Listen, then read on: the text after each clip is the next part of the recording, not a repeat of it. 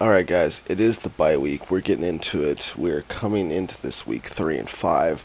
Our main focus, our central focus of everything, is to make this team better so we can at least fight for that uh, middle of the road 8 and 8 record.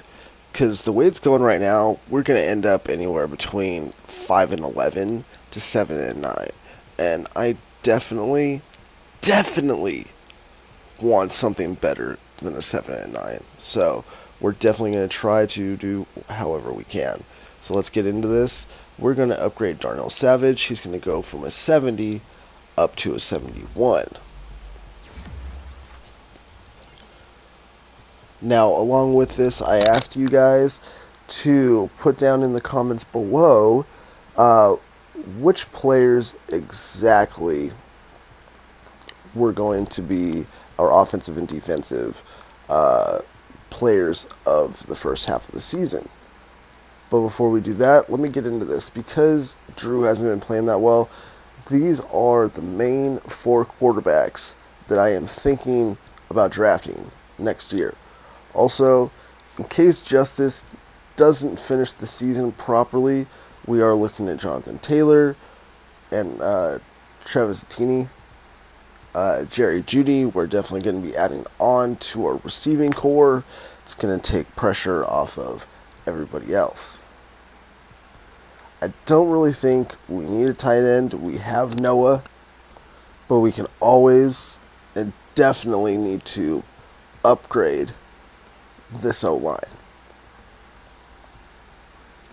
As you can see, most of our prospects are either going to be on the left tackle side that we're going to have to shoot over to another position, or it's going to be right tackle. Those are going to be the two major focuses of this draft.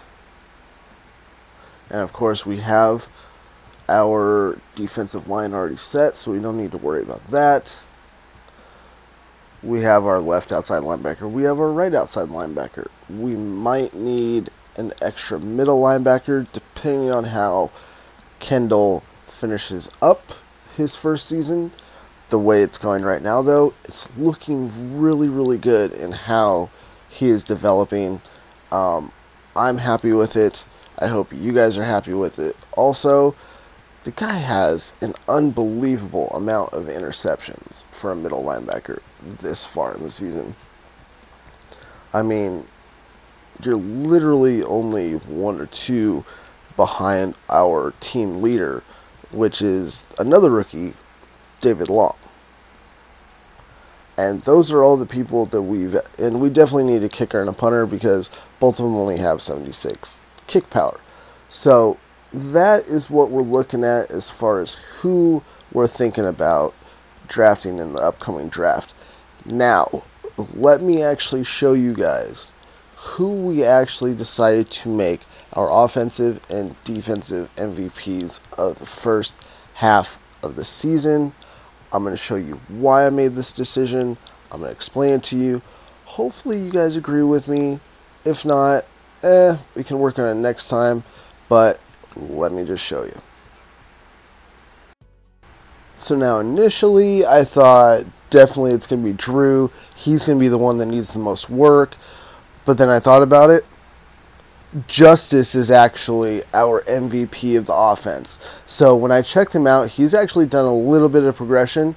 He went from a 74 overall with the one point boost to a 75 overall. Can't beat that. All right, so now let's go through a little bit here on the defense. Now, as you can see, Kendall is actually leading as far as the lower level rookies that we have. Uh, he has the second most amount of tackles. He has, I believe, the second most amount of, uh, no, third most amount of interceptions. And he had, I believe it's one, maybe two uh, sacks. Also, you have David, who is the fourth highest tackles, but the most interceptions on the team. So, here's what I decided, guys. Like, legit. Because it basically evens out. They're both of a lower level. So, we're going to give it to both of them. We're going to give one to Kendall, which will take him from a 73 overall up to a 74. Not bad considering he started at 70 at the beginning of the season. And we're going to give it to our man David because, I mean, honestly, four interceptions in the first eight games of the season, you can't go. You can't get better than that, honestly, guys. Unless, of course, it's some record breaking season, but then again, he's only a rookie. So, we've now upgraded Justice, Kendall, and David. And honestly, I think this is going to help us out a lot. So there you have it. Starting on Monday, we're going to get into the second half of the season. We're going to start with the 49ers and work our way down. I cannot wait. Have a good weekend, guys.